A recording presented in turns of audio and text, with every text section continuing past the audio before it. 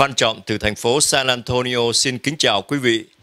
Kính thưa quý vị, hàng năm mỗi độ xuân về, cộng đồng người Việt quốc gia trên toàn thế giới đều tổ chức đón xuân.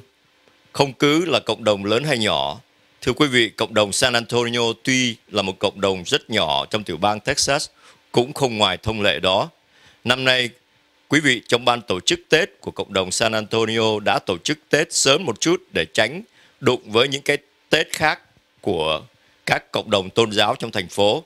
Sau đây chúng tôi xin kính mời quý vị vào bên trong hội trường của trường Texas A&M nơi năm nay cộng đồng San Antonio tổ chức hội xuân. Xin kính mời quý vị cũng như các đại diện tôn giáo đã tham dự trong buổi hội xuân tại thành phố San Antonio. Kính thưa quý vị đồng hương ở tại San Antonio, tôi là Đỗ Văn Phúc, Chủ tịch Hội đồng chấp hành Cộng đồng Người Việt Quốc gia tại Hoa Kỳ. À, hôm nay tôi đến đây vinh dự à, à, được tham dự cái lễ à, cuối năm của cộng đồng. Và đây là một cộng đồng mà chúng tôi luôn luôn có sự gắn bó trong nhiều năm hoạt động. À, nhất là khi mà chúng tôi có những cái hoạt động đấu tranh à, trong cái tiểu bang Texas thì cộng đồng San Antonio là một cộng đồng luôn luôn có một cái sự đóng góp rất là nhiệt tình. Bởi vậy cho nên hôm nay tôi kính chúc quý vị đồng hương tại San Antonio một năm mới thịnh vượng, hạnh phúc và chúc quý vị trong kỳ bầu cử sắp tới sẽ chọn ra được một hội đồng chấp hành nhiệt tình để phục vụ quý vị đồng hương. Xin cảm ơn quý vị. À, trước hết tôi xin gửi lời chào đến đài SBTN và chào tất cả quý đồng hương đã quý đoàn thể tôn giáo đã hiện diện ngày hôm nay. À, tôi à, là Trần Tự Do, hiện giờ là trưởng ban tổ chức à, Tết Cộng đồng năm nay thì uh, năm cũ sắp qua năm mới sắp đến thì tôi thay mặt cộng đồng người Việt San Antonio cầu chúc tất cả khán giả và ban giám đốc của đài truyền hình SVTN một năm mới an khang và thịnh vượng được nhiều sự uh, như ý. Uh, cảm ơn quý đài. Dạ, yeah. à, trước hết tôi à, mục sư Nguyễn Đăng Khoa, quản nhiệm Hội Thánh Tin lành Việt Nam ở San Antonio, xin à, kính chào toàn thể quý đồng hương, quý à, khán giả của đài SBTN. À, thưa anh Tuấn, à, cảm tưởng của tôi về ngày Tết cổ truyền của người Việt của của mình ở ở San Antonio, à, tôi ao ước dù sao mình cũng là người Việt Nam. À, tôi nghĩ đây là một cái điều rất là quan trọng để mình à, giúp cho con em của mình à, nó hiểu được truyền thống của người Việt của mình. À, ngày Tết cổ truyền có nghĩa là như thế nào? À, người lớn của mình thì mình quen rồi nhưng mà tôi nghĩ là các em các cháu lớn lên bên này các em à, cần có cái cơ hội để sinh hoạt với cộng đồng người Việt của mình để biết cái nguồn gốc của mình. Dạ cảm ơn Tuấn. À, rất là vui. Kính thưa à, quý đồng hương ở San Antonio. À, hội thánh tin lành chúng tôi thì vào à, năm tây tháng 2 năm tây tháng 2 chúng tôi cũng sẽ có một uh, chương trình uh, Tết Nguyên Đán cổ truyền của người Việt của mình. Cho nên hội thánh tôi uh, rất là hân hạnh uh, xin kính mời toàn thể quý đồng hương dành chút thời giờ để đến cùng sinh hoạt với chúng tôi. À, cũng nhân nhân dịp này à, thay mặt cho hội thánh tin lành Việt Nam ở San Antonio tôi xin kính gửi đến toàn thể quý ông bà cô bác anh chị em à, khắp nơi khắp khắp các uh, tiểu bang khác nhau uh, những người độc giả của đài SBTN một năm mới uh, an khang thịnh vượng và tràn đầy hồng ân của Thiên Chúa.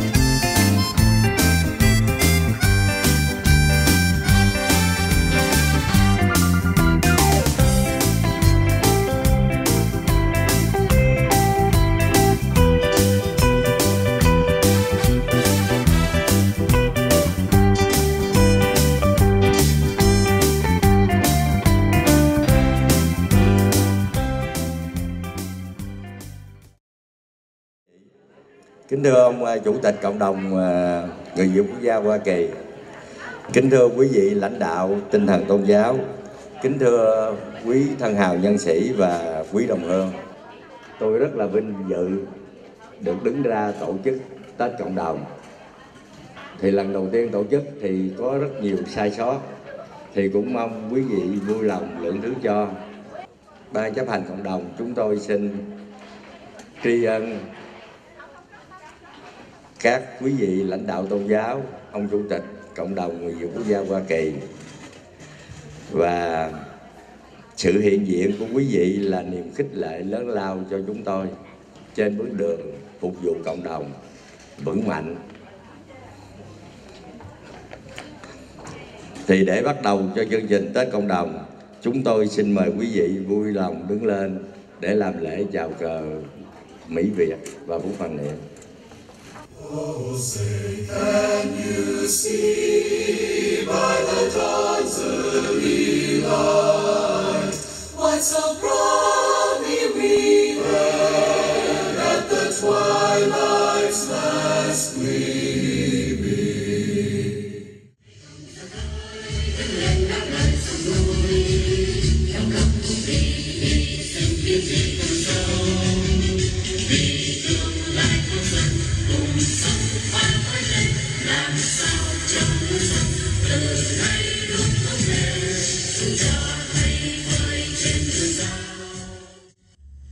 một phút mặc niệm, để ghi nhớ công đức tiền nhân, các anh hùng dân tộc, vị quốc vong thân phút mặc niệm. Để tưởng nhớ đến đồng bào và chiến sĩ, đã hy sinh trong công cuộc chiến đấu bảo vệ tự do. Phút mặc niệm, để thương xót cho hàng ngàn đồng bào chúng ta chết đớn đau trong vùng kinh tế mới các chiến hữu đã gửi thân xác lại hốc núi ven rừng trong ngục tù cộng sản. Phút mặc niệm để tưởng nhớ đến hàng vạn đồng bào chúng ta kém may mắn, trên đường tìm tự do, đã gửi thân lại vùng biên giới và trên sóng biển mênh mông.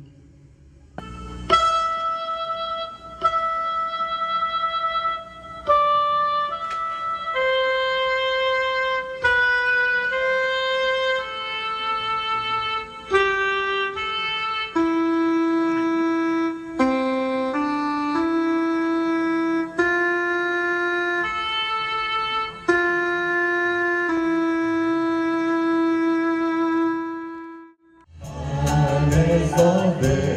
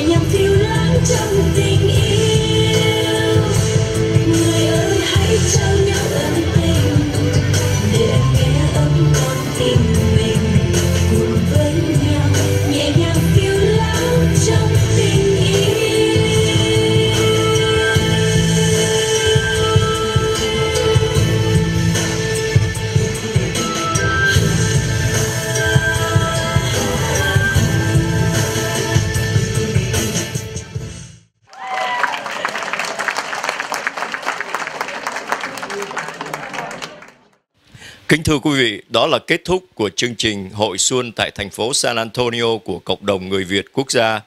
Chúng tôi xin kính chúc quý vị một năm mới an khang và thịnh vượng và hẹn tái ngộ cùng quý vị trong những chương trình phóng sự kế tiếp. Xin kính chào quý vị.